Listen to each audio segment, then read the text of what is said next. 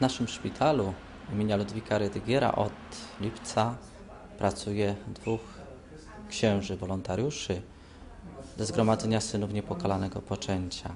Jest to ojciec Sibi z Indii i ojciec Ruben z Argentyny.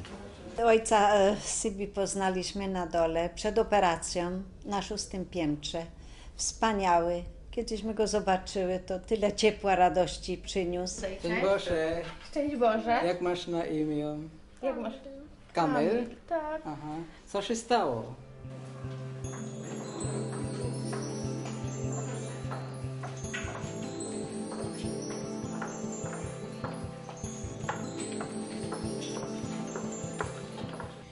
I naszą misją jest opieka nad ludźmi chorymi i potrzebującymi. Przede wszystkim udzielanie komunii świętej chorym, którzy bardzo czekają na Pana Jezusa, Najświętszy Sakrament, ale także spowiadają, udzielają sakramentu chorych i bardzo dużo rozmawiają.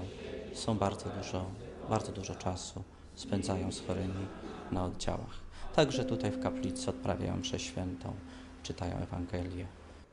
Na chorych ręce kłaść będą i ci odzyskają zdrowie. Chorzy nie tylko czekają na to, żeby ksiądz przeszedł, przyniósł komunię świętą, ale przede wszystkim, żeby porozmawiał.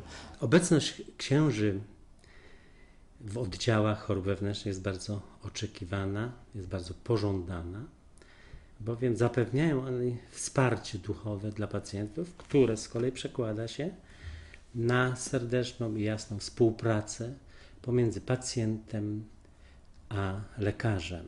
Kapelani są bardzo dobrzy i wspaniali dla nas i okazują nam bardzo dużo miłosierdzia, a to jest niesłychanie ważne dla chorych, dlatego ich uwielbiamy.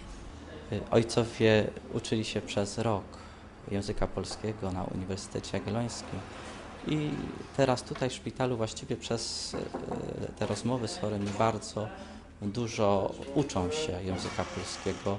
Ja czuję się jak w domu, mm, bo myślę, że tutaj ludzie je- są em,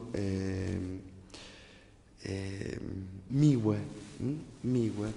I kiedy oni wiedzą, że ja jestem e, obcokraj, obcokrajowcy, oni pomogą, pomagają, tak, pomagają mi.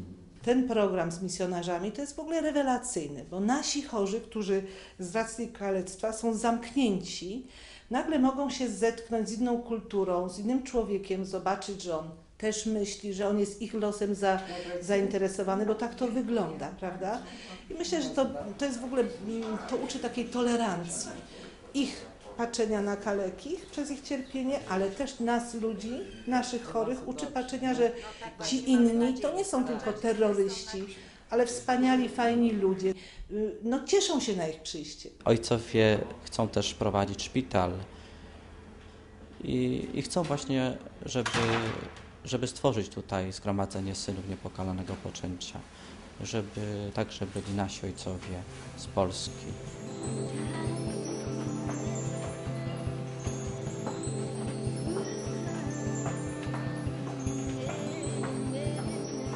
Zapraszamy i czekamy na nowe polskie powołania.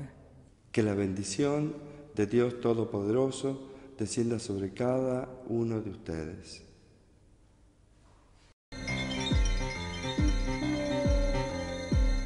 Eksponaty do muzeum pozyskiwane są w różny sposób.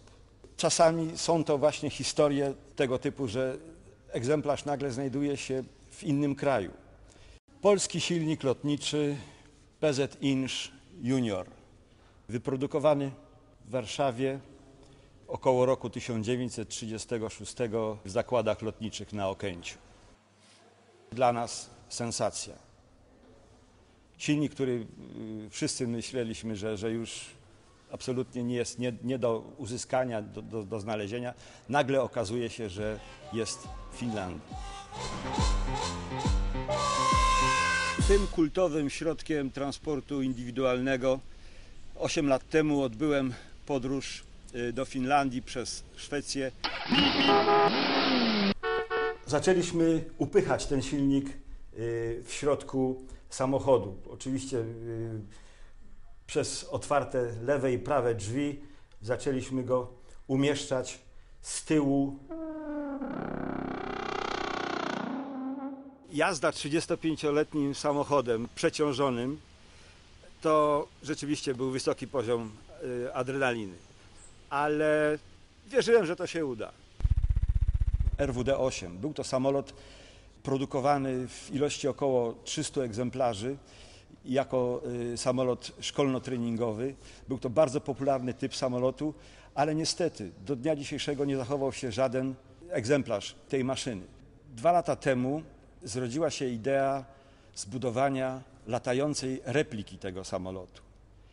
Ideę tą podparł fakt, że posiadamy oryginalną jednostkę y, napędową w postaci silnika PZ Inch i również posiadamy oryginalny zbiornik paliwa z tego typu samolotu. Oczywiście takie y, projekty, czy to y, budowy repliki samolotu, czy powiedzmy wyprawy po jakieś daleko znajdujące się eksponaty, y, wymagają zwykłej, może niezwykłej ludzkiej pasji.